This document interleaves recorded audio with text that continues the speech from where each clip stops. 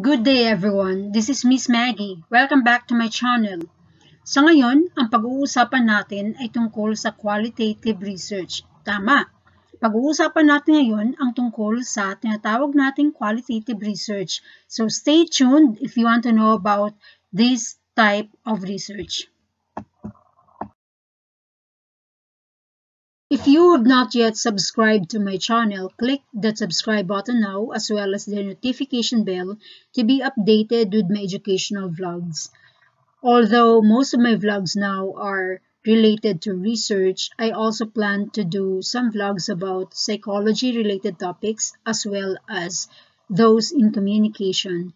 But if you have a request related to any of your studies, I may be able to do a vlog on that explaining them to you guys.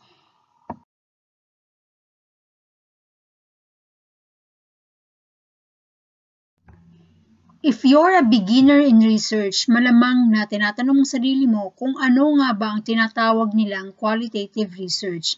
Sa slide na ito, binigyan kita ng pinaka-general na explanation or definition ng tinatawag nating qualitative research. Una, qualitative research is that type of research that focuses more on words rather than numbers. It involves non-numerical data such as textual explanation about a phenomenon, opinions, or experiences of your participants. It relies on non-numerical interpretations or meanings provided by participants of your study. In other words, ito ang tipo ng, ng research approach na kung saan mas binibigyang pahalaga ang pagpapaliwanag o ang interpretasyon ng ating mga participants sa isang phenomenon na ating pinag-aaralan.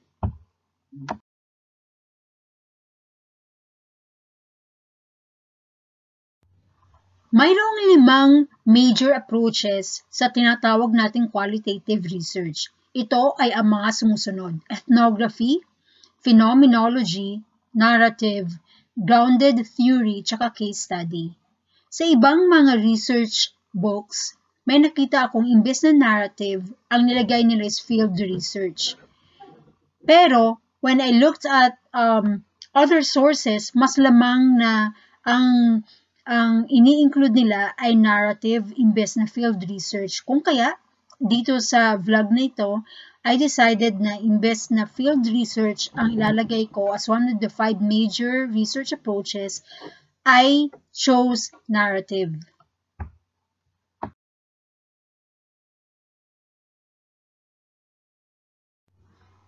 Ethnography is a popular research approach among cultural anthropologists as well as sociologists.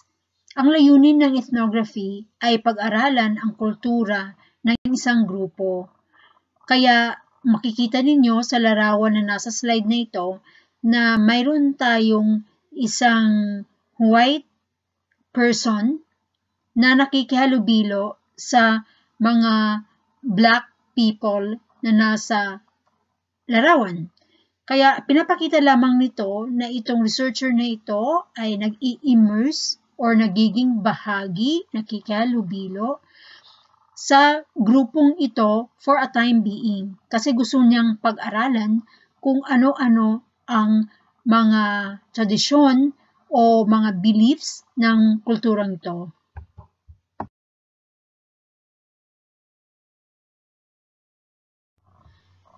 Ang phenomenology naman ay nakapokus sa subjective interpretation ng participants natin about a certain phenomenon.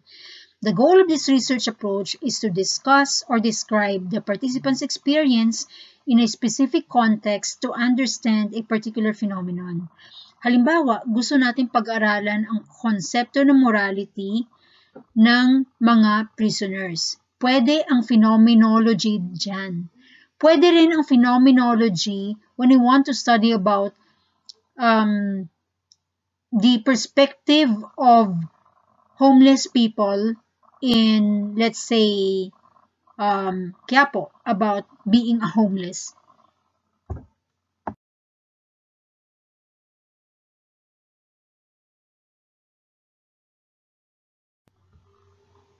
Sa ibang research sources, makikita nyo na imbes na tinawag itong narrative, tinawag nila itong biography. Bakit kamo?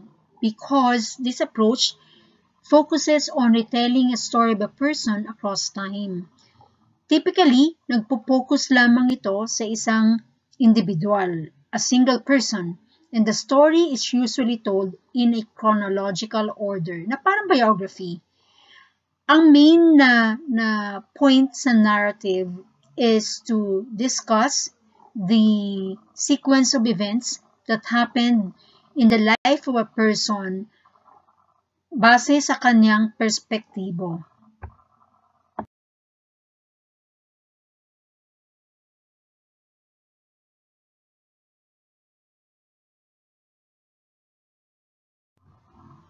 The aim of grounded theory is to provide a general explanation or theory about certain phenomenon. The focus is in generating a theory after gathering data. Kung nakikita mo dito sa ating picture na nasa slide, cyclical ang proseso ng grounded theory approach. Makikita mo, magsisimula tayo sa collecting data, tapos i-code natin siya igugrupo natin ang mga konsepto na pareho or similar. Tapos, gagawa tayo ng mga categories at base sa categories na ito, magge-generate na tayo ngayon ng general explanation or ng teorya. Tapos, i-verify natin ang ating teorya sa field by, by collecting another set of data. So, cyclical lang yung grounded theory. Ang kaiba nito sa isang quantitative research, ang quantitative research kasi, kadalasan mayroon ng teorya, at ang teorya na yun ay tinitest kung totoo sa group of participants na pinili nila. Pero dito sa grounded theory, ang theory, ang, ang paggawa ng isang theory ay isa sa pinaka-main focus. So, ang ibig sabihin, emergent ang theory sa approach nito. Wala pang theory bago nagsagawa ng isang research.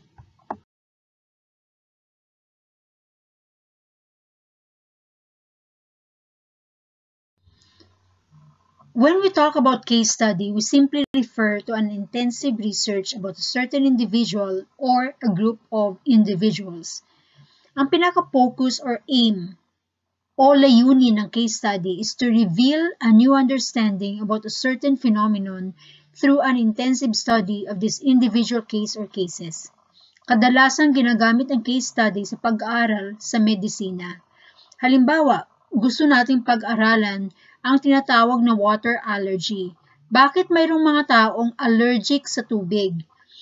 Bakit case study ang gagamitin nating approach? Dahil hindi karaniwan ang allergy na ito. Mayroon lamang less than 100 people in the entire in the entire world na mayroong water allergy. Kung kaya, kung makaka makaka kita tayo ng isang tao na may allergy sa tubig, maganda siyang gawan ng isang case study.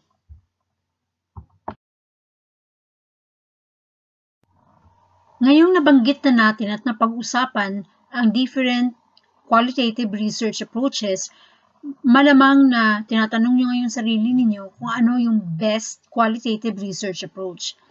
Sa totoo lang, ang qualitative research approach na gagamitin natin ay depende sa kung ano ang ating purpose for conducting that study.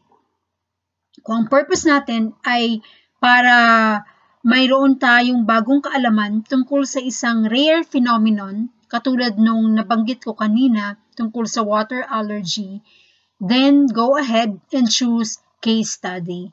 Pero kapag ang purpose naman natin is to know about a certain culture, to study about their beliefs and customs or their traditions, then go ahead and choose ethnography. Ang choice din natin sa kung ano yung qualitative research approach na gagamitin natin ay depende rin sa ibang factors gaya ng accessibility natin sa ating participants or potential participants or dun sa kung meron tayong sapat na resources gaya ng pera or ng um, oras na maaari nating gugulin para sa isang research project na ninanais natin. Kaya before we come up or before we decide on what qualitative research approach to use, we have to look at our resources and um, syempre, accessibility natin sa potential participants among the factors that we need to consider in choosing what research approach to use. Let us now talk about the different methods used for qualitative research. Meron tayong tinatawag na interviews. Meron ding tinatawag na focus groups. Itong si interviews tsaka si focus groups, may pagkakatulad. Later on, when we talk about them individually, you will know the differences between these two types or methods of qualitative research. Meron din tayong tinatawag na observations. Meron ding surveys tsaka secondary research. Malamang na familiar na ang mga categories or mga terminologies na ito sa inyo. Let me further explain them in succeeding slides.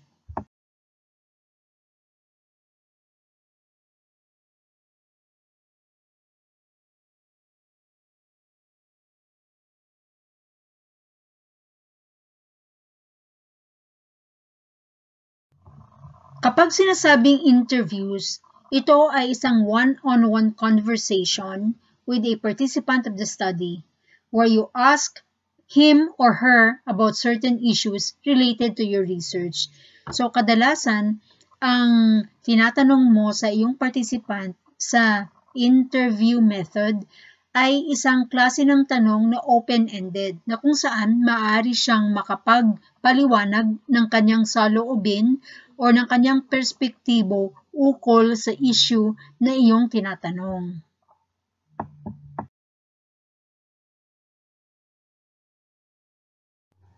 Gaya ng sinabi ko kanina, yung focus groups tsaka yung interviews, may pagkakatulad. Ang similarity nila is on the fact that in both techniques, nagtatanong ang researcher sa participants of the study.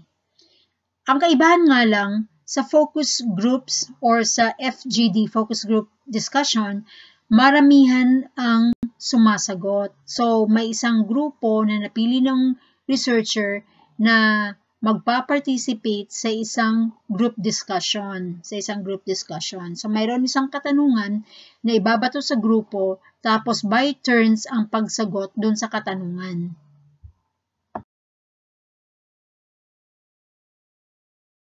Sa observation method naman, kung ikaw ay isang researcher, ang ginagawa mo lamang ay nire-record mo ang anything that can be perceived by your senses. And this can be done in two ways.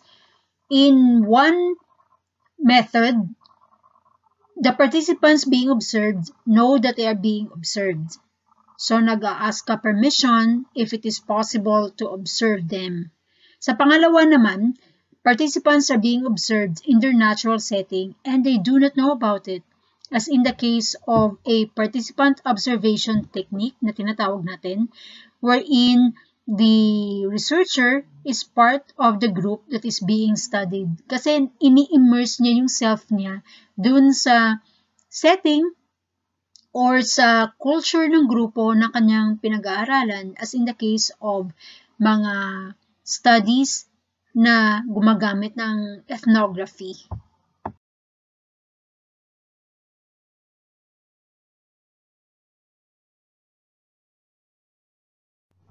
May mga estudyante ako noon na nagtatanong kung maaari rin bang gamitin ang surveys kapag qualitative ang research approach. Oo naman, pwede. Ang kadalasan ng kasing impression natin sa surveys ay yung mga mga surveys na may questionnaire na closed-ended lahat yung mga questions.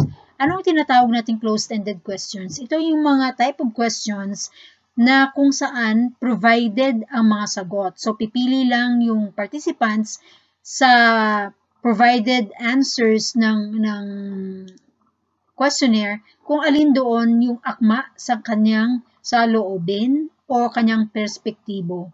Sa surveys naman na ginagamit for qualitative research, ang mga questions doon ay open-ended. Kapag sinasabi nating open-ended, walang pinuprovide na choices para sa sagot. Bali, ang participant ang magpo-provide ng paliwanag or ng kanyang kasagutan doon sa mga katanungan.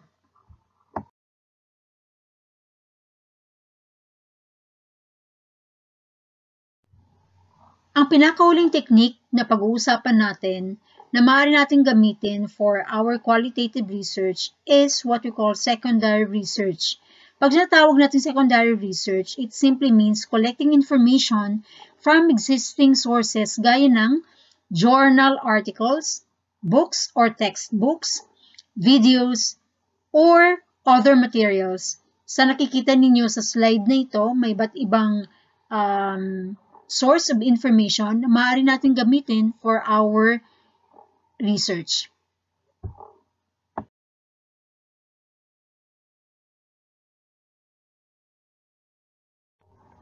Now that we're done discussing the different types of, of research methods and the different, different approaches in qualitative research, pag-usapan naman natin ngayon kung mayroon nga bang specific technique to be used for each of these type of qualitative research? Ang kasagutan ko dyan ay ay depende sa ano, depende sa accessibility mo sa data, depende sa resources mo, depende sa napakaraming factors. So let's talk about muna kung ano yung purpose ng study mo. Kung halimbawa ethnography ang napili mong uh, research approach, gaya nga ng nasabi ko kanina, pag sinasabi nating ethnography, kailangan mo talagang maging part ng grupo na pinag-aaralan mo. You have to immerse yourself to the culture that you want to study kasi yun lamang ang paraan na mapag-aaralan mong mabuti ang kulturang yun. So probably the best uh, technique for that one, for ethnography, is observation. And a specific type of observation that you will use for that example is participant observation. Kasi you're part of the group that you are you are studying. Kung ibang type ng ng qualitative research or ibang ibang research approach na under sa qualitative study, siguro maaari mong pagsabayin or i-combine ang different techniques. Kasi sinasabi nga nila na kung may marami kang techniques sa pag-gather ng data, may marami ring chance to validate your participants' um, answers to your questions. So, mas maganda raw ang study na gumagamit ng different techniques or ng more than one technique to gather data.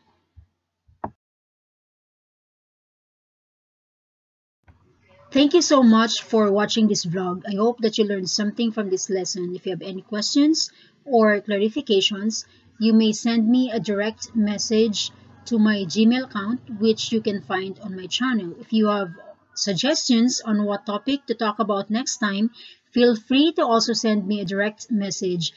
Bye-bye and see you next time.